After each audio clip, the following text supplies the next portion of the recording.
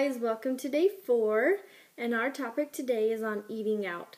Um, eating out is a way of life um, for birthday parties or for uh, going on a date with our spouse or our loved ones, um, running errands and you're caught in traffic and you see a Taco Bell, so you're starving and you eat there. Um, just whatever it is, um, we regularly regularly eat out. Um, in a perfect world, we would be able to eat everything at home and have us make it, but uh, that's not the real world. Um, I'm going to give you a few tips for eating out. First is order first. This way, when you're hearing everybody else at the table order, you're not second guessing your choice or you're thinking about some unhealthy ones because that sounds good and that sounds good. Maybe I'll try this this time. I'll do extra workout, something like that.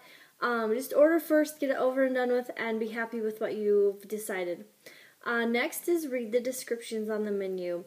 Um, is it really saucy? Is it packed full of things that are unhealthy? Or is it like light and fresh? Um, just make sure that you're paying attention to what the description is telling you. Uh, next, uh, skip the appetizer.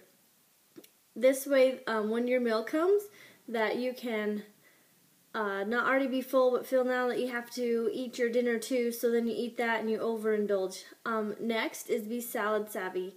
Not all salads are created equal, especially those with like really creamy um, dressings like ranch, Thousand Island.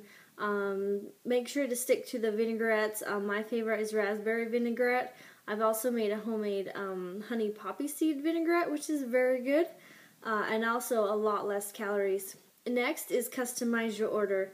Um, you can replace, you know, fries with vegetables or some fruit or, you know, skip the bun on a hamburger, uh, different things like that. Uh, next is drink water. I like to get mine with lemon in it just to add a little bit to it.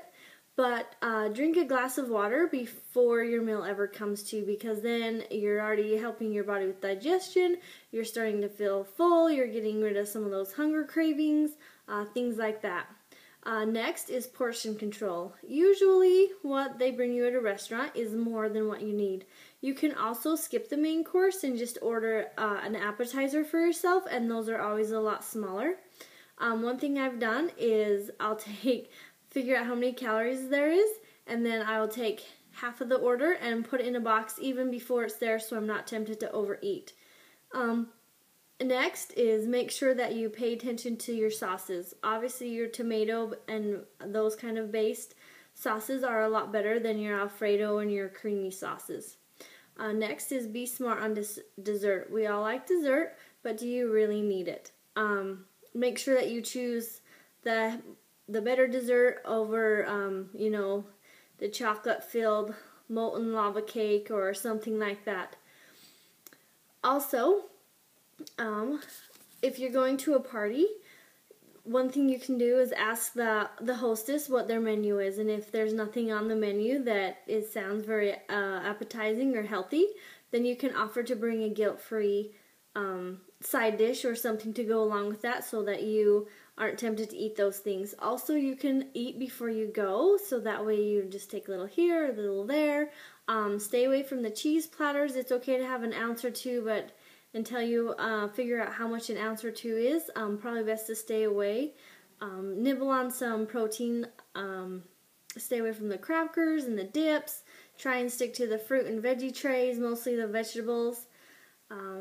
Also, I have a little guide here. You should avoid like pigs in a blanket, anything fried, buffalo wings, potato chips, um, sausage, things that you can enjoy, or shrimp, um, hummus in a pita.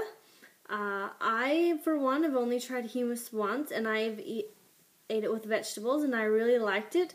I did buy mine, I didn't make it. Um, I know Courtney has uh, lots of menus for hummus, and that's a good alternative. Um, anything that's grilled, like your, especially your fish and your chicken, that can be very healthy for eating out.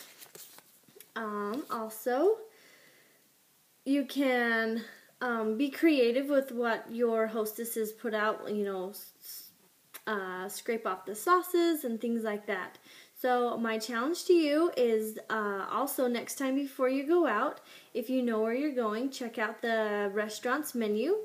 Make so you can already know what you're gonna eat and not have to question and Google or uh, MyFitnessPal or whatever it is to figure out how many calories calories are in there. But I hope you guys all are eating healthy and enjoying this 10 day challenge. I know that if you stick with it and really do uh, do the 10 days of clean eating, especially when we eat out, that uh, you will feel a lot better at the end. Thanks. See ya.